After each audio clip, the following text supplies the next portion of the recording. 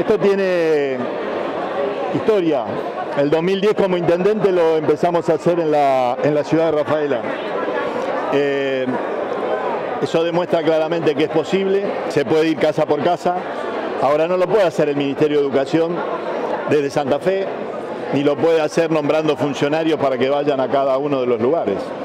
Tenemos que hacerlo con, con cada comuna, tenemos que hacerlo con cada municipalidad, tenemos que hacerlo con su personal vinculado a educación, con sus trabajadores sociales, para poder llegar allí a cada casa, para hablar con las familias, para acompañarlos a la inscripción. Tenemos que corroborar sobre estos datos y esos son los que va a recibir cada intendente y cada presidente comunal. Es un dato simple de un cruce, quién terminó la primaria, quién en el inicio de clase está anotado y quién no.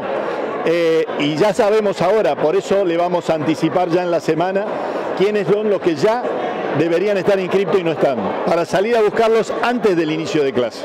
Lo mismo pasa con los chicos de cuatro años, que tienen que empezar eh, la incorporación al sistema educativo. Consideramos que es clave.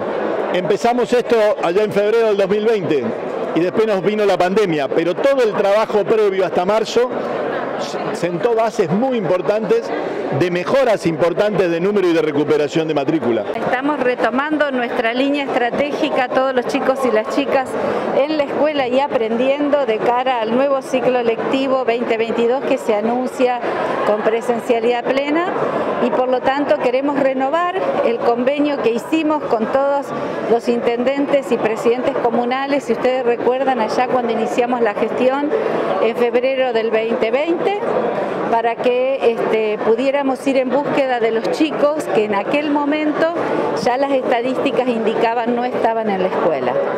Vamos a contarles todo lo que avanzamos en este, en este periodo, en estos dos años, agradeciendo también el trabajo de los actores locales y vamos a renovar ese convenio para que de verdad podamos este, tener una provincia con escolaridad plena. Próximos días, entre hoy a la tarde, mañana, pasado, cada presidente comunal, cada intendente va a recibir en su correo electrónico una lista nominada de alumnos fundamentalmente de los que terminan séptimo y deben ir al primer año. Ustedes recordarán que nosotros tenemos una trayectoria obligatoria extendida, pero que atraviesa tres niveles.